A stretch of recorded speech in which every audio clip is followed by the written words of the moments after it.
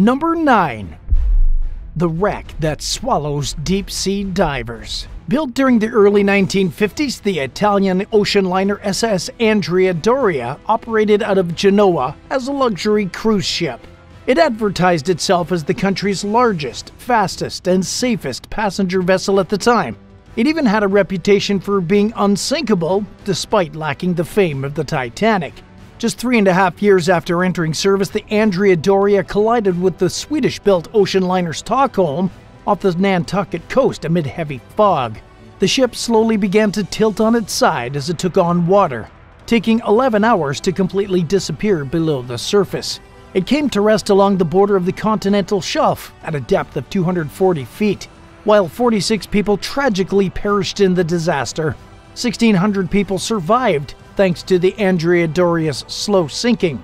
Rumored to contain a large amount of money and valuables, the wreck is alluring to deep sea divers who visit the wreck despite the alarming number of explorers who have died during past dives. As of 2017, at least 16 people have lost their lives trying to gain a peek at the Andrea Doria, including expert divers. In 2015, 60 year old scuba diver Thomas Pritchard vanished during a dive to the luxury ship. He was never found and is presumed dead. Two years later, one of Britain's top divers, 46 year old Stephen Slater, was pulled unresponsive from the water and later died. The deaths have been attributed to numerous causes, including the strain that the water's pressure and cold temperature put on the body. Rising to the surface too quickly can cause a deadly condition known as the bends, and at such extreme depth, an equipment malfunction can easily prove deadly. It's also speculated that some divers become disoriented inside the wreck, where visibility is poor and currents can change with little to no warning. Yet the Andrea Doria continues to draw visitors from the diving world who want to say they've been there. Bonus if they manage to retrieve an artifact as proof. Number 8. Mystery Plane Debris while sailing off the St. Augustine, Florida coast in 2012 with plans to take photos of reefs for an interactive map he was creating, 31 year old Joe Kistel's depth finder detected something strange. It was an object 80 feet below the surface. He dove to the site and observed metal parts and debris that he initially thought had perhaps fallen off a barge. They were actually plane parts, including two engines, an engine block, and a broken propeller. The wreckage may belong to an aircraft that disappeared 16 years earlier in 1996. 58 year old Stuart Dunbar was flying his small plane alone from Georgia to his home in South Carolina when he put out a concerning distress call saying that he was dizzy and having vision problems. He vanished along with the aircraft, leaving his family without answers. Dunbar's daughter, Penny Malfris, told CNN that she believes her father steered the plane away from land to avoid hurting anyone when he realized he was having an emergency. When some local fishermen heard about the discovery, they took Kistel to another site four miles away where he found another aircraft. He broke off a piece of debris only to later notice it had property of the US written on it, indicating that it was a military aircraft. It also contained numbers that helped Kistel's team identify the plane as an A 7 last flown by a pilot named Robert Bessel. As it turned out, Bessel was still alive, he was 24 year old when he became disoriented and hit the fuselage of his commander's plane during a training flight in the 1970s. Bessel told StAugustine.com that the plane lost power and flew out of control. He ejected and was rescued from the water, but said he wasn't exactly proud of the mishap and didn't want to talk about it much. In fact, he never told a lot of people about the accident, period. After Kistel rediscovered the aircraft, Bessel decided to finally face the part of his past that he had tried for so long to forget about. He visited the wreck site, and it seemed to help him finally come to terms with what happened.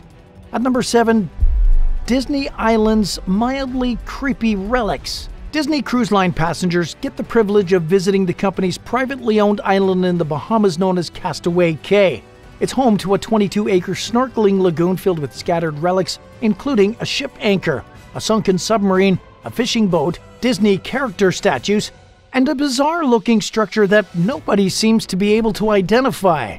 In one Reddit discussion about the mysterious round object, which appears to have a protruding barrel, some commenters pointed out that it seems to resemble a replica of a naval mine.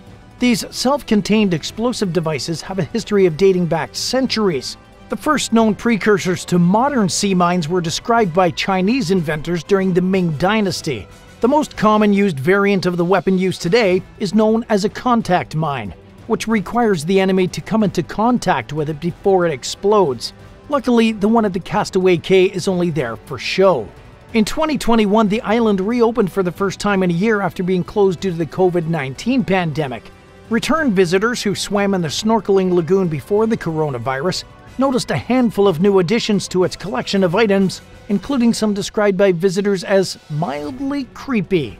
Have you ever been to Disney's private island? Let us know in the comments and hit subscribe while you're at it. At number 6, unidentified Hawaiian wreck. In 2005, researchers discovered a 19th century wooden ship at French frigate shoals in the northwestern Hawaiian Islands. Two years later, in 2007, a team of scientists from the National Oceanic and Atmospheric Administration visited the wreck in hopes of identifying it. Based on the ship's features, they concluded that it's most likely the Churchill, a four masted schooner that ran aground on a reef in 1917 while sailing from Tonga to Seattle. The wreck's size and dimensions were also consistent with the 178 foot long ship. Built in North Bend, Oregon in 1900, the 600 ton Churchill's design was typical of the large wooden schooners that dominated American shipping in the Pacific between the Civil War and World War I. When it ran aground, it was carrying a cargo of copra, or dried coconut meat. Luckily, all 12 crew members were rescued by a nearby fishing boat. They accused the captain Charles Granzow of deliberately destroying the ship, and he was charged with espionage. The disgruntled sailors claimed that Granzow wanted to remain aboard the Churchill even after it was apparent they would only survive if they got into lifeboats. It's unclear what became of the matter. After exploring the wreck, the NOAA marine archaeologists admitted that they can't say with certainty that it's the Churchill, but all signs point toward it. Number 5 the holy grail of shipwrecks. While exploring off the waters of Bulgaria in 2018, scientists from the Black Sea Maritime Archaeology Project spotted a shockingly intact shipwreck. It stood out among the 60 or so others that they saw of how incredibly well preserved it was. It sits over a mile below the surface, where there's very little oxygen in the water. Decay happens much more slowly, which explains why the 2400 year old ship is in such great condition. It's not the oldest submerged vessel in the region, but it's the only known ship of its age that contains a preserved mast, rowing benches, and other features that are not normally seen in wrecks from that time period. The ancient boat resembles the vessels seen in Greek artwork, offering a hint about its possible origins. A portion of the wreck was raised and radiocarbon dated to the 5th century BC, when Greek city states and Mediterranean colonies frequently traded along the Black Sea coast. While little is known about the ship itself, its pristine state is giving experts an unprecedented glimpse back in time as they try to learn more. Number 4. Exploded Warship. Sitting at a depth of 361 feet in the Aegean Sea, an old ship bears evidence that it was blown up before it sank to its watery grave. The 130 foot long vessel's bow is missing and its stern has collapsed. Shredded metal sheets were ejected from the sides of the ship, and the seafloor is scattered with debris as far as 100 feet away from the main wreck. The ship was discovered by divers in 2022 near the Greek island of Kithnos. Its unique construction of closely spaced frame lines, no holds, and a low profile of just 10 feet in height bears elements of what expedition leader Kostas Thoctarides described as a very old ship, possibly a warship, the team that discovered the vessel declined to speculate on its age or who it belonged to. Aside from clear evidence that it was destroyed in a very strong explosion, its origins and story are a complete mystery. Kostas and his team hope to identify the ship through further research. At number 3, a mystery sloop in Lake Michigan. While searching Lake Michigan for the debris of a long missing aircraft in 2004, a team of explorers from the Michigan Shipwreck Research Association and the National Underwater Marine Agency discovered the wreck of a small wooden boat 250 feet below the surface. They concluded that it's a 19th century single masted merchant sloop measuring just 47 feet long and 17 feet wide. There are few recorded disappearances of sloops on Lake Michigan. The team noted that there are a few that were similar in size to the one they found, but the features were different. Based on records, the closest candidate for the wreck's identity is the Buffalo, a 49 by 16 foot passenger sloop that was built in Michigan in 1845. But there are no known records to suggest that the Buffalo was lost on Lake Michigan, throwing another wrench into the mystery. A document from 1850 shows that its owner surrendered it, but lacks any details about changes in the boat's ownership or name, or if it disappeared or wrecked, which would ordinarily be included on a surrender certificate. Researchers pointed out that record keeping was a lot less thorough and accurate back then than it is now, so an absence of any record of the Buffalo sinking doesn't mean it didn't sink. But they also can't say with certainty that the submerged sloop is the Buffalo, and an educated guess may be the closest they ever get to knowing for sure. Number 2. Pearl Harbor Plane During the first few minutes of the attack on Pearl Harbor in 1941, Japanese forces bombed the naval air station on the east coast of Oahu, sending 27 Catalina PBY planes plunging into the Pacific Ocean. Only 11 PBYs survived the attack. Their destruction prevented American pilots at the station from immediately retaliating against the Japanese, amounting to a significant setback for U.S. forces that day. Researchers have long known about the presence of these destroyed long range bombers, but have struggled to explore one particular wreck of a PBY 5 over the years. The coral encrusted aircraft sits at a depth of just 30 feet in Kaneohe Bay, but divers encountered murky waters when they tried to visit the site in 1994 and again in 2008. They finally managed to take some clear images of the wreck and perform an archaeological survey in 2021 thanks to opportune conditions and advanced equipment. The identity of the plane and its crew remain unknown, and experts have accepted that they may never have the answers. Because the wreck is protected under the Sunken Military Craft Act of 2004, it's illegal to move it to a place where it might be easier to study.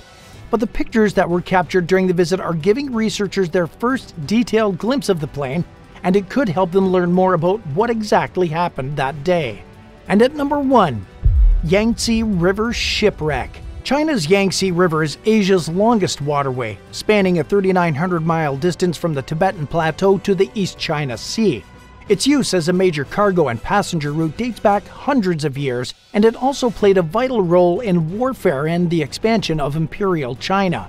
In 2015, researchers discovered a remarkably preserved ancient merchant ship resting beneath 18 feet of water at the bottom of the Yangtze River. They identified it as a vessel that sailed sometime between 1862 and 1875 during the Qing dynasty. Divers recovered a trove of artifacts, including blue and white porcelain, purple clay pottery, and other cups, bowls, and plates bearing ornate designs and distinct coloring. Experts traced their origins to Vietnam and a city in Chinese Jiangxi province that was once known as the porcelain capital. The wreck was raised in 2022 after years of planning revealing one of the country's largest and most intact wooden vessels ever found. Known simply as Yangtze Estuary No. 2, the ship measures 125 feet long and 32 feet wide, and has 31 cabins. To safely pull it out of the water, researchers built a watertight chamber and slowly lifted the ship, which took several hours. They found even more artifacts, including iron anchors, Vietnamese hookah tanks, and more exquisitely decorated dining ware. Efforts to fully explore and preserve the wreck are ongoing. Thanks for watching. Which one of these mysterious discoveries shocked you the most? Tell us in the comments below, and don't forget to subscribe. I'll see you next time.